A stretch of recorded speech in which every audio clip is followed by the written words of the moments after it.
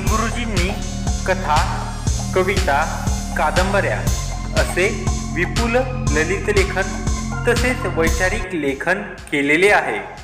श्यामची आई धडपडणारी मुले भारतीय संस्कृती गोड गोष्टी सुंदर पत्रे इत्यादी पुस्तके प्रसिद्ध आहेत.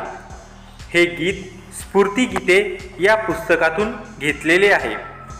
पहा बलसागर भारत हो विश्वात शोभुनी राहो.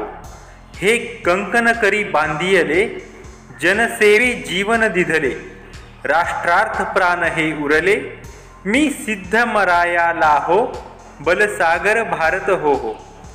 पराक्रम ऐक्य सेवा त्याग आणि देशभक्ती यांच्या माध्यमातून आपला भारत देश अधिक शक्तिशाली व्हावा अशी अपेक्षा साने गुरुजींनी या समूहगीतामधून व्यक्त केलेली आहे.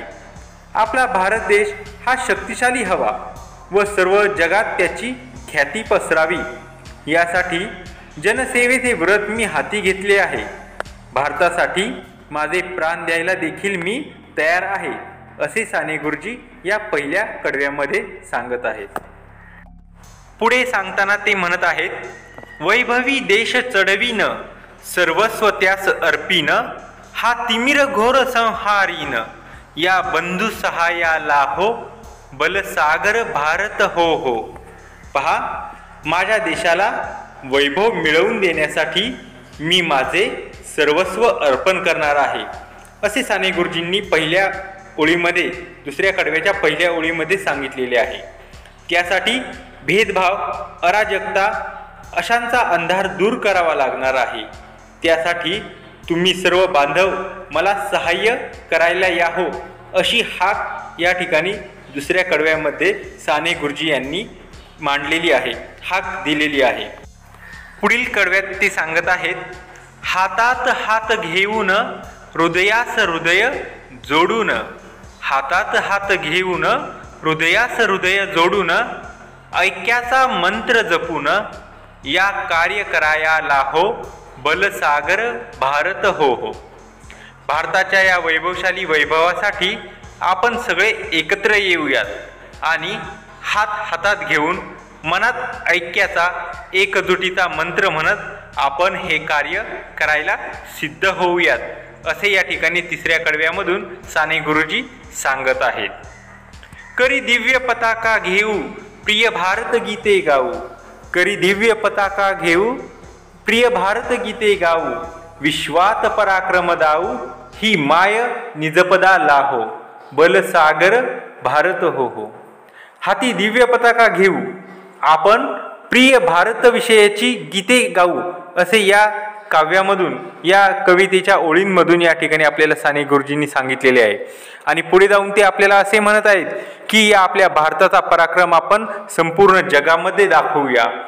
अशा पद्धतीने या चौथ्या कडव्यांमध्ये साने गुरुजींनी आपले मत या ठिकाणी मांडलेले आहे. पुढे काय म्हणतायत पहा या उठा करू हो शर्थ या उठा करू हो शर्थ संपादु दिव्य पुरुषार्थ हे जीवन ना तरी व्यर्थ भाग्य सूर्य तळपत राहो बलसागर भारत हो हो. पुढे म्हणतायत ते चला यासाठी आपण आपल्या पराक्रमाची शर्थ करूया. आपण आपल्या पराक्रमाची शर्थ करूया. असे जर केले नाही तर आपले जीवन वाया जाईल.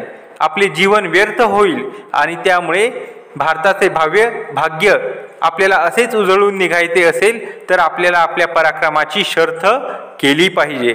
असे या कडव्यामधून साने गुरुजी यांनी आपल्याला सांगितलेले आहे. पुढे जाऊन साने गुरुजी काय म्हणत आहेत हे आपण पुढील कडव्यामध्ये पाहूया. ही माय थोर होईल वैभवे दिव्य शोभेल. ही माय थोर होईल वैभवे दिव्य शोभेल. जगतास शांती देईल तो सोन्याचा दिन येओ बलसागर भारत हो. तो सोन्याचा दिन येओ बलसागर भारत हो हो.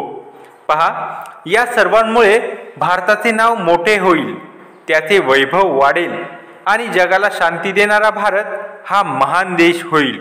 व तो सोन्याचा दिवस लवकरात लवकर आपल्या आयुष्याला आयुष्यामध्ये येवो अशी अपेक्षा या ठिकाणी साने गुरुजींनी या शेवटच्या कडव्यामधनं केलेली आहे. ही माय थोर होईल वैभवे दिव्य शोभेल जगतास शांती देईल तो सोन्याचा दिन येओ बलसागर भारत हो हो. विद्यार्थी मित्रांनो बघा अतिशय सुंदरपणे भावार्थ या ठिकाणी या कवितेमधनं आपल्याला साने गुरुजी यांनी मांडलेला आहे. अतिशय सुंदर अशी कविता आहे आणि ही कविता हे गीत तुम्ही स्फूर्तिगीत आहे. या याचे तुम्ही तालासुरामध्ये गायन करायचे आहे. याच्या चाली आपल्याला उपलब्ध आहेत. त्यावर आपण हे गायन करायचे आहे.